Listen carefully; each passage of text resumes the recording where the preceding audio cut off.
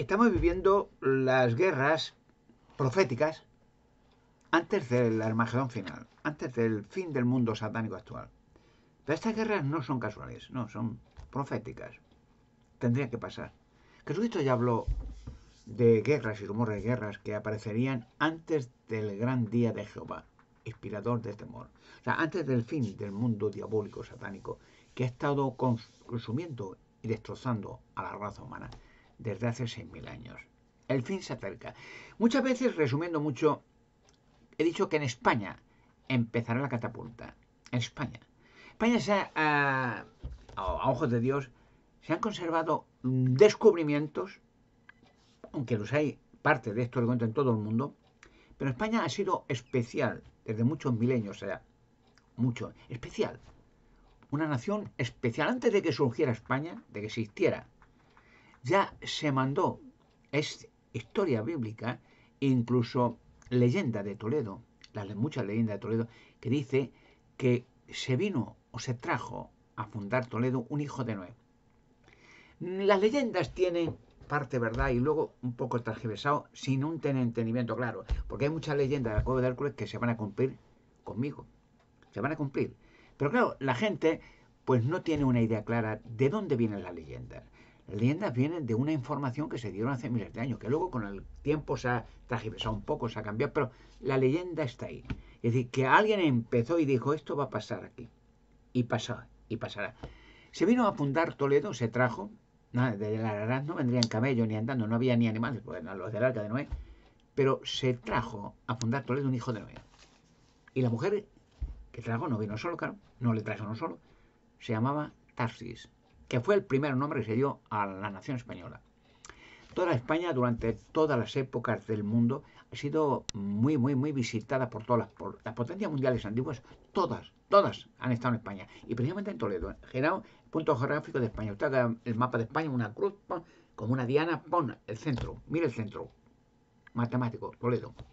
Y allí se han juntado romanos, visigodos, árabes, judíos, eh, normandos, godos, toda la historia. Y luego, previamente, la historia de España ha sido el punto central de la historia de España, antes y después la cueva de Hércules. Y la mesa de Salomón. Que Salomón, aunque los romanos pusieron la, la cueva de Hércules, no era de Hércules. Hércules es un dios de los míticos romanos, como, como muchas religiones tienen sus dioses, Buda, Confucio, Brahma, Shiva, miles de dioses por ahí. Son tradiciones, misticismos de las religiones que han creado pues, sus dioses. Hay un solo dios, el de la Biblia. El nombre es Jehová. Lo demás, pues eh, la gente quiere ignorar, en parte, porque otros no lo saben, ¿no? Esta, la, que eh, la tierra fue invadida por millones de ángeles diabólicos, no para hacer el bien, para destruir la tierra. Ya la tierra se tuvo que destruir muchas veces. En tiempos de Noé se tuvo que destruir. Porque estos ángeles caídos, ángeles demoníacos, ¿no? Ah, la palabra demonio significa traidor, resistidor, rebelde. Y estos han hecho daño y están haciendo daño a la tierra. Porque sus días se acaban. Van a ser todos destruidos. Todos. No va a quedar ni uno. El único que va a quedar de momento fue el instigador a venir a la tierra de estos ángeles que tuvieron gigantes con mujeres. Los niños que nacen comúnmente de la raza humana, pues tienen una, una, genealogía natural, Adán y Eva. Pero los hijos de los demonios son sobrenaturales. Y nacían gigantes, crecían, crecían, crecían, hasta el infinito. El diluvio tuvo que ahogarla a todos, porque luego crean dinosaurios y otras cosas, que no quiero decir, gigantescas. Y claro, el diluvio tuvo que ahogarlos, porque hubieran ya arrasaron la Tierra. ¿Usted se imagina el planeta Tierra lleno de millones de gigantes y de dinosaurios? Fíjese que he dicho muchas veces que un dinosaurio, uno, solo uno, había, había miles, cientos de miles. Y gigantes igual. Se podía comer un bosque él solito, un dinosaurio de 4 o 5 mil metros cuadrados, en un mes. Un bosque. Y había millones. ¿Qué quedaba de la Tierra? Decían que ni hierba. ¿Sabían? Y luego, dése cuenta que un curioso, que claro, también la arqueología con astucia, no, no, eso no es verdad. Las piedras de Ica, yo tengo varias, las piedras de Ica, se ve muchas piedras de Ica grabados, gigantes comiéndose dinosaurios, y dinosaurios viceversa comiéndose gigantes. Eran de la misma estatura. Un dinosaurio medio, de estos cuellos tan alargados, ¿no? Típicos. Había varias especies. podía pesar más de un dinosaurio, 450.000 kilos. O sea, un bosque, para ellos era una, nada, un jardincito. Y luego todos millones comiendo y luego ya no había hierba, no había comida, no había aves, se comían entre ellos. Porque tenían que seguir creciendo y, comer. Hasta que el diluvio los ahogó a todos. Pero algunos con astucia dejaron los padres, los creadores de estos gigantes, los demonios, materializándose ellos, los cuerpos de demonios, han estado por toda la tierra también. No se han dado, no, nadie se ha percatado muchas veces de que eh, han aparecido calaveras alargadas. De esas calaveras, son así, aguabadas. Dese cuenta las grabaciones antiguas, grabaciones en estatuas antiguas, lo más antiguo. A que verá que todos los reyes son gigantes y con cabezas alargadas. ¿No se han dado cuenta de eso? Que en todo, en la, India, en Europa, en Asia, en donde quiera. Siempre se ve grabaciones antiguas, incluso eh, pinturas rupestres, ¿no?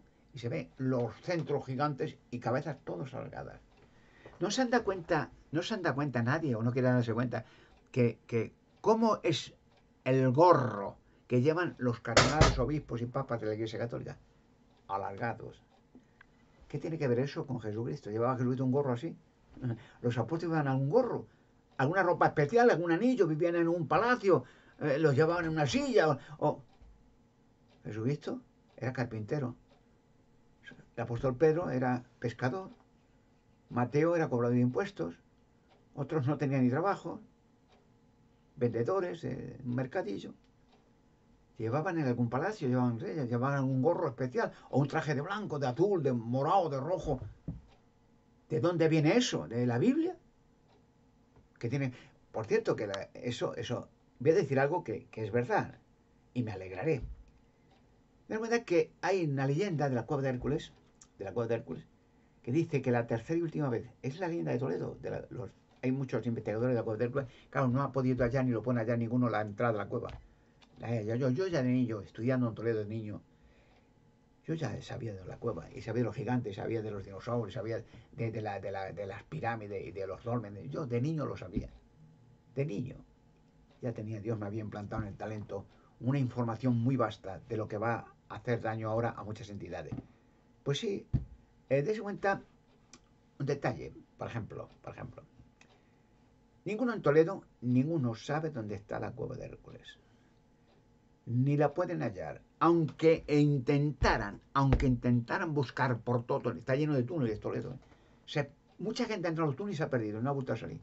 Eh, porque da miedo. Muchos los han tenido que tapiar, porque se comunican eh, como, como los túneles de Sascoamán en Perú, se comunican a varias alturas. O sea, un tío se pierde una, y se han pasado varias veces caso, se han pasado con una linterna intentando husmear a ver si encontraban algo, ah, se apagó la luz la linterna, han querido volver ya no, ya no pueden volver, ya es un laberíntico que sube, baja, se mete, izquierda, derecha, va, y, y, y, ya con, y aunque tengas una señal clara, te sudas tinta de volver a salir otra vez de nuevo está precisamente para Pero yo puedo entrar por cualquier túnel de Toledo. Te cuenta un detalle. La Toledo ha sido medieval siempre, siempre hasta el día de hoy. Ha sido pues un convento y un monasterio. Toledo. Había en la Edad Media, todo Toledo era un monasterio y convento y catedral y todo, todo, todo. ¿no? todas las calles, todos de convento. Incluso todas las calles de Toledo, la mayoría antiguamente los nombres eran de Santalgo, en Santa no sé cuánta, la Virgen de no sé cuánto. o sea, todo era un monasterio. Qué casualidad Toledo, ¿verdad? Y la catedral más grande del, del catecismo en Toledo. Y Toledo, de toda la historia hasta el se han centrado todas las logias sectas satánicas del mundo. Hasta el día el Papa Negro, no, también en Toledo. Qué casualidad. Y Toledo es historia, no es leyenda, que por ejemplo en el año 711, era como cuando gobernaban los, godos en Toledo, el rey Rodrigo, Rodrigo, pues había una ley que había dejado Salomón, que hacía ya 3.000 años, claro, cuando vino a Toledo expresamente para hacer la Cova el arca de la alianza, llevarla en, seguridad con una nave voladora dejar la cueva de Hércules en una mesa, un cronovisor, para que se vea todos los crímenes de esta gente de toda la historia. Ahí se verá, es un cronovisor. Es basta que yo vaya a decir, por favor, ¿quién fue Jack el Destripador? ¿Quién lo sabía? De la corona, de las coronas de, de, los nobles, de la iglesia, del padre, ¿quién lo sabía? Y salgan imágenes que hablando con él de los crímenes que hacía Witten en un barrio de la prostitución, que no llegaba el niño allí, mandaba al chofer John Dury un chofer que tenía, bueno, eh, coge a una tía, venga, tráetela aquí a su apartamento, la destripaba y la tiraba en el barrio. Era un ritual satánico, ¿no? Cinco prostitutas, la, última, María Janet Tequili, hasta estaba embarazada, la destripaba, la, la quitaban los pechos, la, era sadismo, satanismo en su apartamento. Lo sabía todo el mundo. Ahí la mesa de de Salomón o la, lo cantará. Será una orden mía. Por favor, salga, por favor, la niña madre Mackenzie. Dará una orden. Y saldrán imágenes tridimensionales, hologramas, pero imágenes reales. La niña madre Mackenzie, ¿quién la vendió? En Portugal.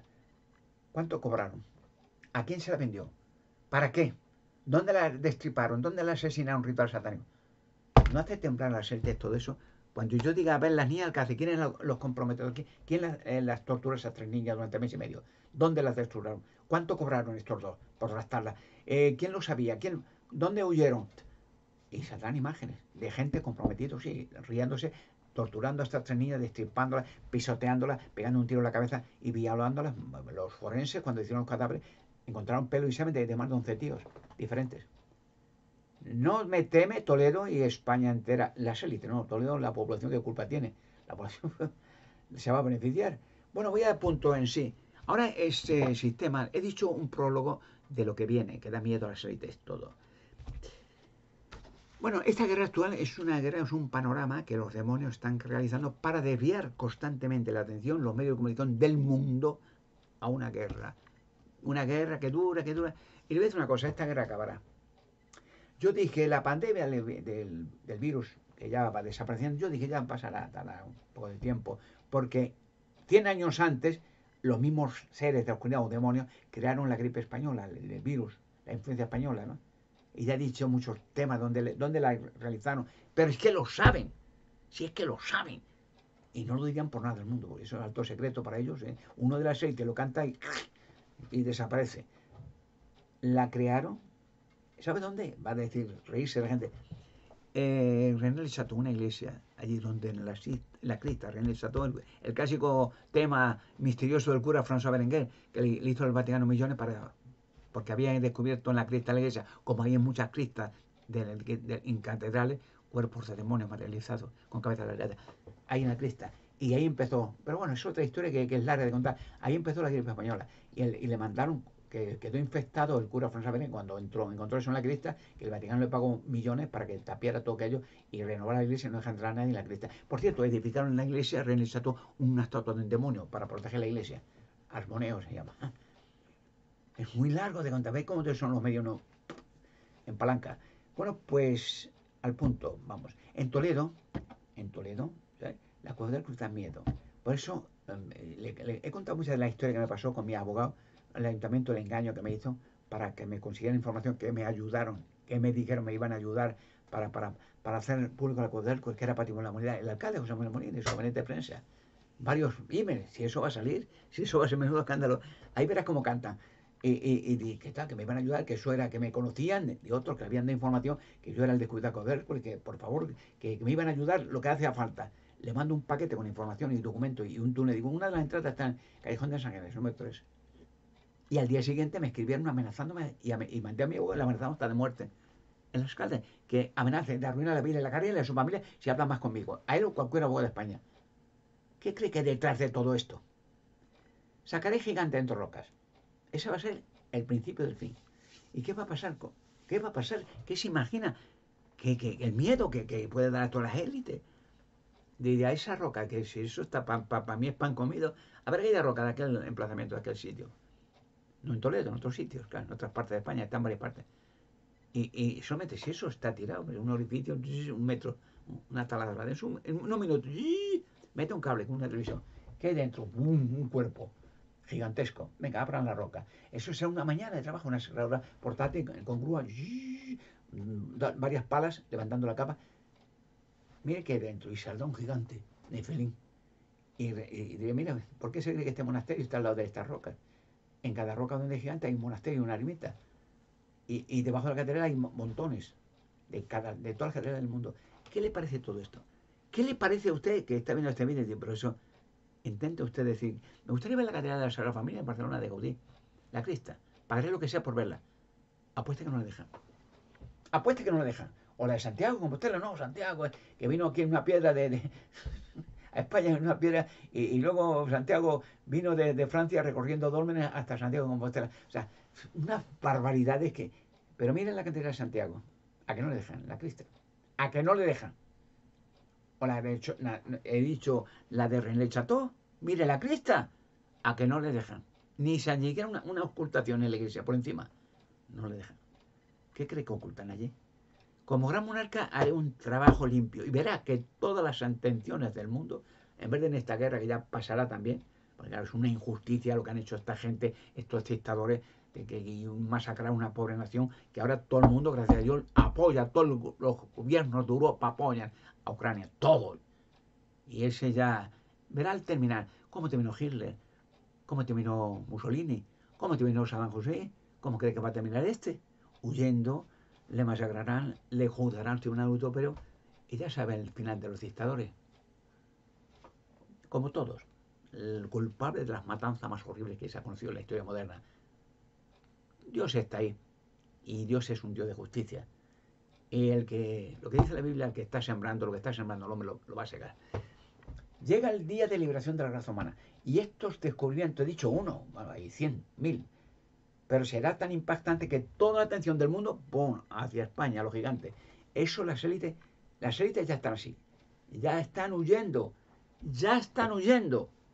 ¿No se han dado cuenta que todas las élites, mucha gente que son conocidas, desconocidas, bueno, gente de mucho dinero, de empresas, que se van y hacen búnkeres en Nueva Zelanda y en las selvas tropicales y en Brasil y todo, porque se van? Porque como todas han tenido contacto con, con religión, todas, satanistas, espiritistas, medium, espiritistas, todo tiene su medio espiritista. Y los demonios están diciendo huir, meterlos debajo de tierra, como dijeron a los gigantes, meterlos en rocas que os vamos a salvar. Ahí en los enterraron vivos, los, los propios padres y las mujeres también y los cuerpos de ellos también. Y le están diciendo huir que el gran monarca, este no, no le podemos juntar, ni coaccionar, ni eliminar, ni nada. Este va por vosotros. Y este no le para a nadie. Tiene baraca, protección sobrenatural. Los gigantes de roca, por una parte, va a ser crimen y castigo. Y por otra parte, una liberación tan grande como jamás la conoció la historia del mundo. Se conocerá la verdad. Y todo el mundo cambiará. Y las guerras cesarán. Ya lo veréis. Y por otra parte, España va a ser privilegiada. España, todos los elementos antiguos. Eh, ustedes imagínense que el arca de la alianza está en España en seguridad. Dios ha mirado a España con favor. Y España y el gobierno español y quien esté gobernando, yo no soy un político, yo voy a, ayudar a que el mundo conozca la verdad, no a hacer política, de izquierda a derecha. Los políticos tienen derecho a su respeto. Haga bien y el que haga mal que la pague. Se acabó. Y es lo que, pasa siempre. Pero España va a ser privilegiada. Porque voy a traer medio mundo a España y la, la, provincia de turismo, no, no de refugiados, desgraciadamente, que también hay en España, pero de, gente inversora y de turistas, va a hacer de España una potencia mundial económica como nunca ha conocido. Señores, entonces se irá con alegría y con risa y con lágrimas en los ojos de la gente que España, una vez en la historia del mundo, de verdad, va a ser una España, una España grande, una España libre. Preparado, que lo mejor está por llegar.